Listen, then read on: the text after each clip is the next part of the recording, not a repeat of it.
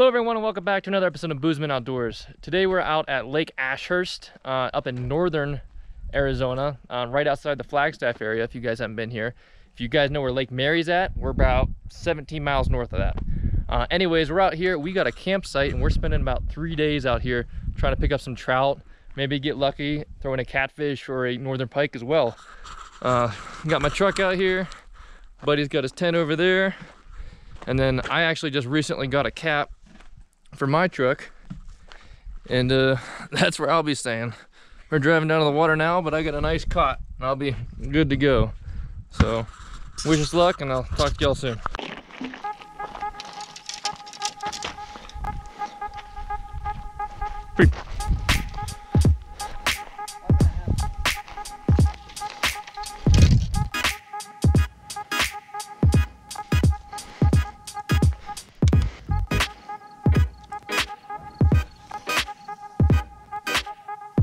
Got fish on corn. Corn.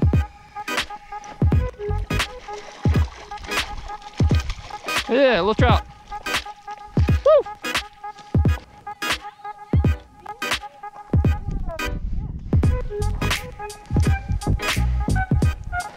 Awesome. That wasn't far out either. That was only like maybe 15 yards. Cool. There. All right, I'm gonna throw this guy back out here. That's all I did last time. Three pieces of corn, last one hiding the hook.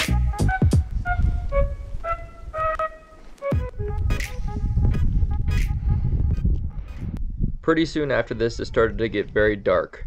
My buddy next to me was able to pull in one more for dinner, and we hustled back to camp for some nice wood-grilled trout tacos.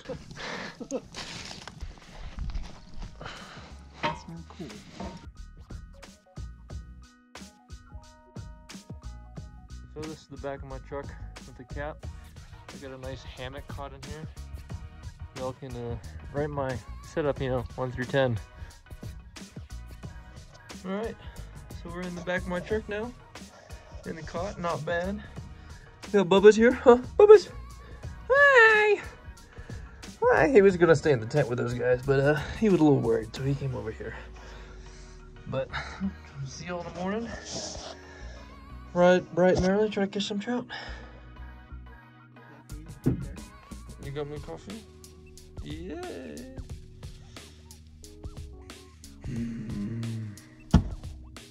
Ready to catch some fish, Talon?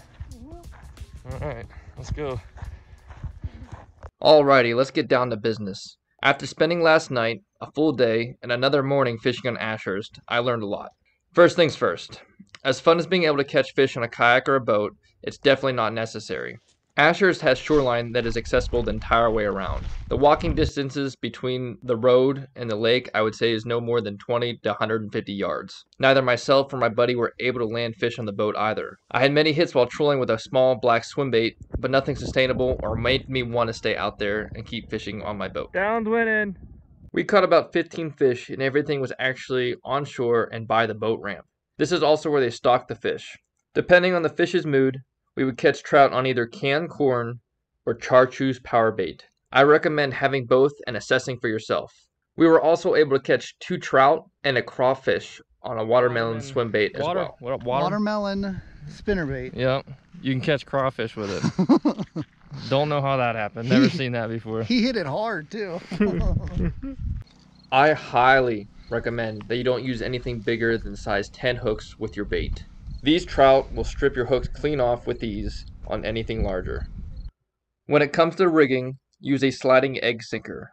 To do this, run an egg sinker up your main line, tie on a swivel, preferably a fixed one and not a snap swivel, and then a 3 to 5 foot leader line with a hook on that. Having this rig will allow the trout to pick up the bait and not feel the resistance of the weight on your line. Trout will often drop the bait as soon as they feel that line pressure and you won't even know you had a bite. I recommend either standing your rod straight up and watching the tip for bites, or keep your rod parallel and use a bobber with an attached snap swivel as a bite indicator. I personally like the bobber trick better because you can also see the fish picks up the bait and swims towards you. If the bobber rises, fish is going away. When it drops, it's coming towards you. That is pretty much all the knowledge I got for y'all today. I hope you have a successful time fishing for Arizona trout. If you use these methods I provided you today, I can guarantee you, you'll not go home empty-handed. If you like today's video, please consider dropping that like button below. Doing so will help me grow this channel and reach more kind individuals like yourself. If y'all got any questions about fishing, my gear, or my channel, drop a comment and I'll get back to you as soon as possible. As always, and until next time, thanks for watching BoozeMan Outdoors.